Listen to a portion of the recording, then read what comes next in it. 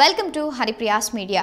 ఆంధ్రప్రదేశ్లో సంక్షేమ పథకాలకు పెట్టింది పేరు లాంటివాడు వైఎస్ జగన్మోహన్ రెడ్డి. తండ్రి రాజశేఖర్ రెడ్డి హయాంలో ఎలాంటి సంక్షేమ పథకాలు నడిచేవో సాధ్యమైనంత మేరకు తన హయాంలో కూడా అదే స్థాయి సంక్షేమ పథకాలను అమలు చేయడానికి జగన్ విశ్వ ప్రయత్నాలు చేశారు. కానీ కరోనా మహమ్మారి రాష్ట్ర ఆర్థిక వ్యవస్థని చాలా ఘోరంగా దెబ్బతీసింది.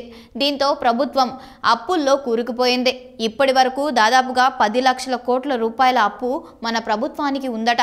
అత్యధిక అప్పులు తీసుకున్న రాష్ట్రాల జాబితాలో మన ఆంధ్రప్రదేశ్ నెంబర్ వన్ స్థానంలో ఉంటుంది అనడంలో ఎలాంటి అతిశయోక్తి లేదు. ఆ స్థాయి పరిస్థితులు ఏర్పడ్డాయని వైసీపీ నాయకులు అంటున్నారు. ఇదంతా పక్కన పెడితే వైసీపీ ప్రభుత్వం చేపట్టిన బృహత్తర కార్యక్రమాల్లో ఒకటి షాదీ ముబారక్. నిరుపేద కుటుంబాలు తమ ఆడబిడ్డకు పెళ్ళి చేసి పంపిన తరువాత ఆ ఆడబిడ్డ తల్లిదండ్రులను ఎలాంటి ఆర్థిక సమస్యలు ఉండకూడదు అనే గొప్ప ఉద్దేశంతో కళ్యాణమస్తు మరియు షాదీ ముబారక్ పథకాలను ప్రవేశపెట్టామని జగన్ చెప్పుకొచ్చారు. జూలై ఆగస్ట్ మరియు సెప్టెంబర్ నెలల్లో పెళ్ళి చేసుకున్న జంటల కుటుంబాలకు జగన్ తాడేపల్లి ఆఫీస్ నుండి ఎనభై ఒకటి కోట్ల రూపాయల నిధులను బటన్ నొక్కి విడుదల చేశారు. ఈ త్రైమాసికంలో పదివేల ఐదు వందల పదకొండు జంటలకు ఈ ఎనభై ఒకటి కోట్ల రూపాయలు విడుదల చేశామని అలా ఇప్పటి వరకు మూడు త్రైమాసికాలను కలిపి నలభై ఆరు వేల జంటలకు పెళ్ళిళ్ళకు మూడు వందల యాభై కోట్ల రూపాయల నిధులను విడుదల చేశామని గతంలో టీడీపీ హయాంలో రెండు వేల పద్దెనిమిదవ సంవత్సరం వరకు ఏదో మొక్కుబడిగా కొంత డబ్బులిచ్చి మళ్ళీ